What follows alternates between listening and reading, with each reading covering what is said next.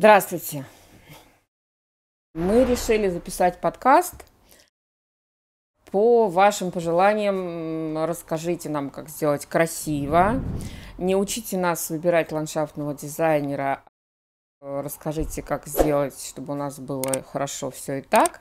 Поэтому я решила придумать для вас несколько полезных советов, скажем так, мне не хотелось идти по пути того, что вот как открываешь книжку, там и там и типа советы идут, одни и те же во всех книжках.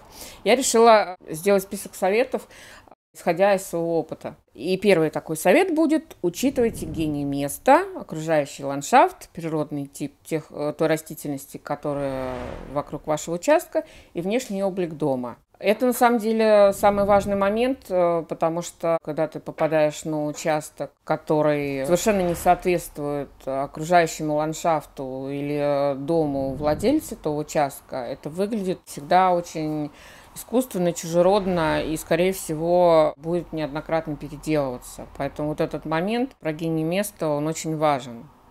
Не забывайте про него. Скорее всего, вы не просто так купили участок именно в этом месте, вас что-то привлекло. И, скорее всего, вы не просто так выбрали именно тот дом, который вы построили, он тоже вас привлек почему-то, что-то у вас в душе отозвалось. Придумайте какую-то интересную легенду, какой-то сценарий вашего сада, и тогда вы вдохнете в него свою душу.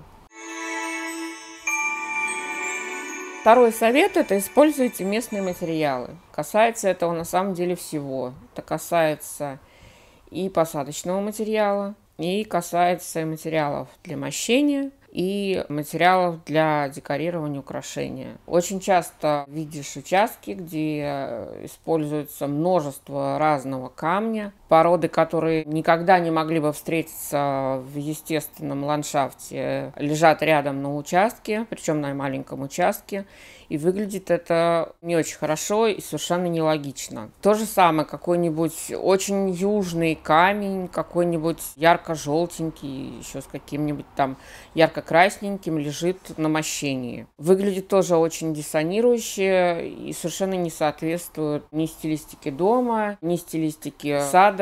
Если вы выберете какие-то местные материалы, какой-нибудь гранитный булыжничек даже, гранитную брусчатку или тротуарную плитку серого там, цвета, то будет совершенно все по-другому, будет намного лучше.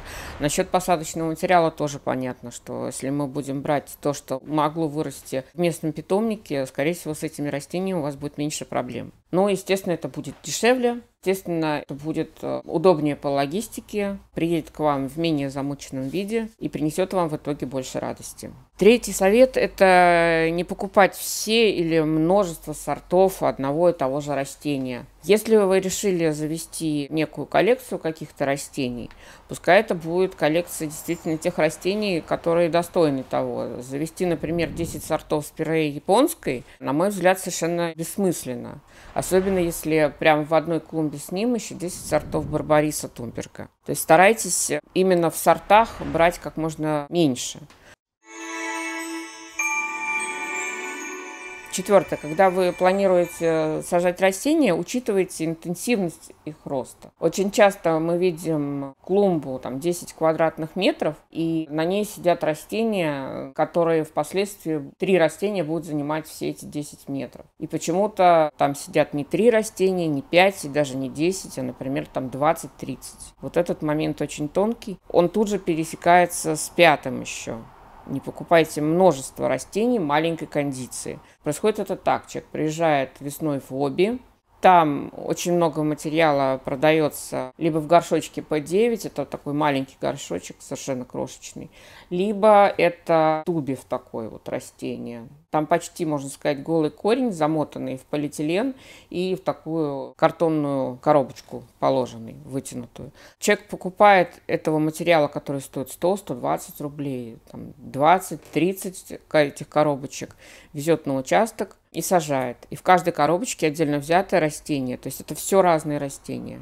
Понимаете, да? Человек тратит на это там 3-5 тысяч рублей. Можно, например, купить в горшке С2 растение, которое будет уже где-то там ну, 30-40 сантиметров в диаметре. Вы потратите те же деньги, да, но это будет совершенно другой вид, и в итоге с учетом дальнейшего роста это будет более продуктивно. Следующий совет – это сажайте зеленые изгороди. На самом деле в саду дачников изгородей практически не бывает почему-то на самом деле, потому что сады у нас небольшие, да, в среднем 10 соток, сад 10-12 соток. Там нужны разные совершенно структуры, которые получается, что друг другом пересекаются. От этого мы никуда не денемся. Вот эти пересечения можно прекрасно закрывать, перекрывать зелеными изгородями.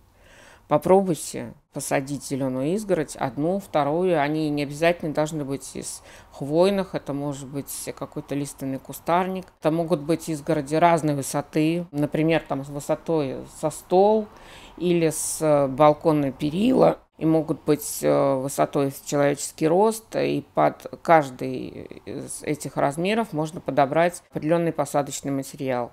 То есть это могут быть и лиственные кустарники, и хвойные. Смотрите, думайте, экспериментируйте. И я надеюсь, что эта идея вам понравится. Следующий совет – повторяйте в саду растения. То есть, например, если у вас у парковки посажена спирея серая, посадите ее еще перед окном кухни или перед окном гостиной, или посадите ее рядом с баней.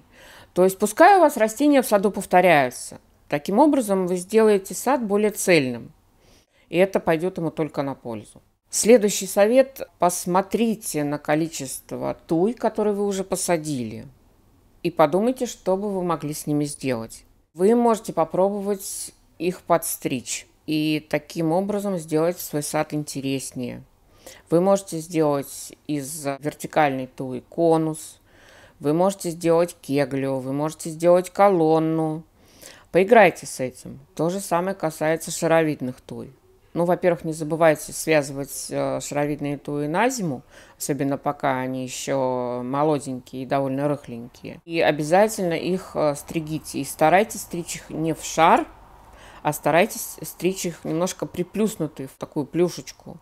Это будет смотреться гораздо более интереснее. Поиграйте с этим.